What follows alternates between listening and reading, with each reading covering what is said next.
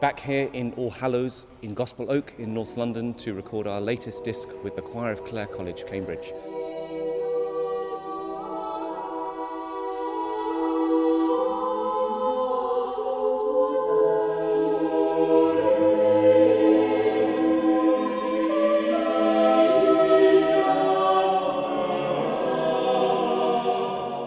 This disc of music for Easter continues our series that has seen us already record music for Advent, for Christmas, for Passiontide, for Ascension and Pentecost, and for All Saints and All Souls.